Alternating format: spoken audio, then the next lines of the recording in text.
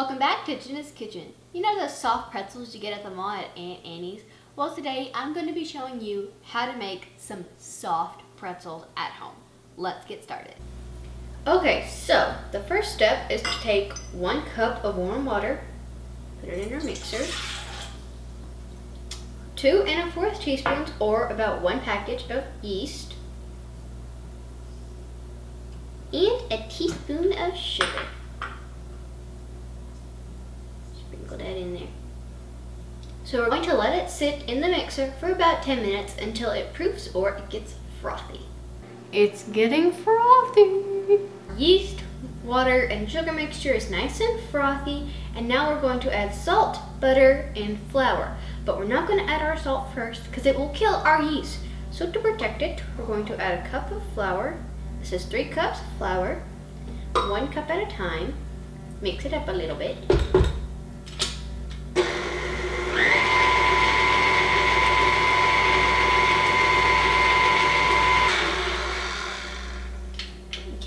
mixing it with the hook attachment. That is very important.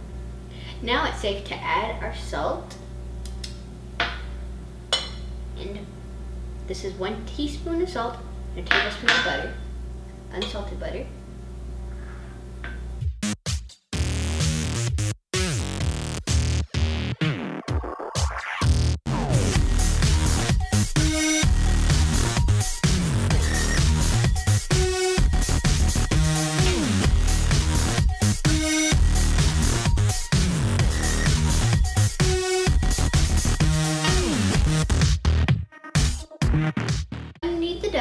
For five minutes in here, but you can also knead it, and I'm gonna show you how to knead it with your hands.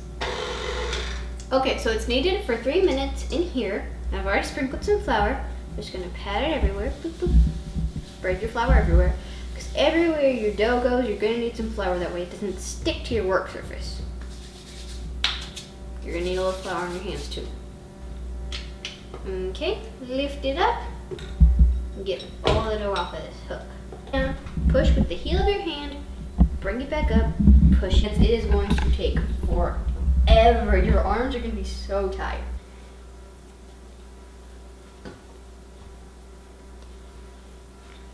This is how people used to make bread back in the day. They had to knead their dough by hand, not in this handy dandy mixer right here. Strengthen the gluten structures in your rolls or pretzels. It's also kind of relaxing. Our dough is all kneaded. We're going to place it back in here. Take out this attachment. Place our dough back into our bowl. A towel over it. Let it rest for 15 minutes and it shall rise. So while our dough is rising, we are going to be making the baking soda mixture to dip our pretzels in and then they shall bake. It is very important that you make sure it's baking soda, not baking powder, because this will create the Maillard reaction that gives the pretzels that crust that we all love. On, medium, on. Yes, I got it right. Okay, so we're going to add two cups of water into our pot. We're also going to add four tablespoons of baking soda. I'm just to whisk it all together. Almost all the baking soda is dissolved. Now that our baking soda mixture has dissolved almost mostly all the baking soda, we're going to turn it off and let it cool. And then we're going to pour it in a pan. And by that time, the dough should be rising. Okie dokie, so we have our baking soda mixture. We're going to pour it into the pan. So we're to wake up the dough like this. Wake up, dough! It has risen. Take it out of the bowl. Come on. Come on Voila!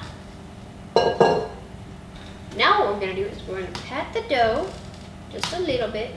We don't want it too flat. We just kind of want it a little bit flatter than it already is.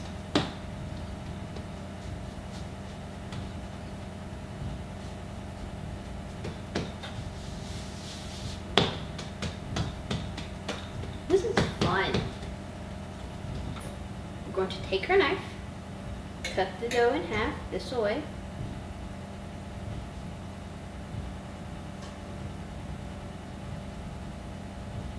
Don't want to cut the work surface. Mom be mad if he did.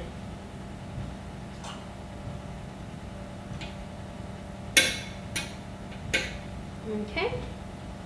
Cut it in half again. You want to cut it into eight pieces.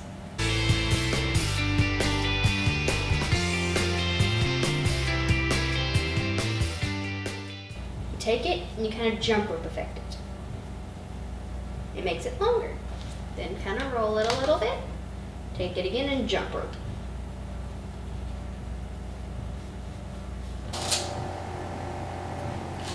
Inches.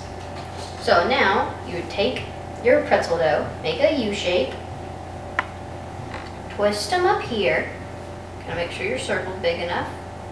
Take one of them, twist the other around, and place it down.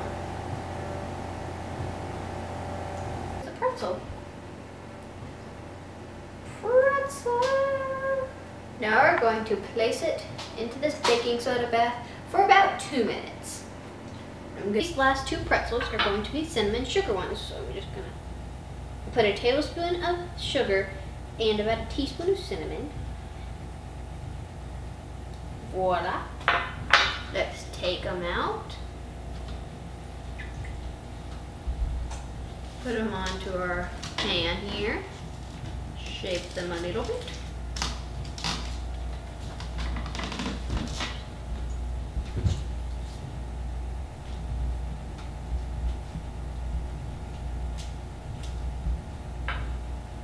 Take some cinnamon sugar and sprinkle it on onto.